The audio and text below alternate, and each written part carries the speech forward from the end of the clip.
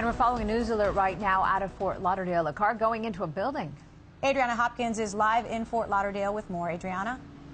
We're live here at Southeast 4th Street and 15th Avenue in Fort Lauderdale, as you mentioned. I want to show you again that Rolls Royce that crashed into this building. We're being told by people here on the scene, specifically the manager of the Floridian restaurant, a popular restaurant here in Fort Lauderdale, that a famous rapper was riding in that car when someone opened fire shooting at that car, that car crashing into that building, police cleaning up the shell casing markings that were here just a few moments ago. This is still under investigation. We're told that famous rapper still in that restaurant this morning talking to police. Police still here on the scene investigating exactly who fired these shots and where that person is now. Of course, once we get any more information about this and what happened, we'll pass it along to you. But for now, reporting live here in Fort Lauderdale, Adriana Hopkins, 7 News.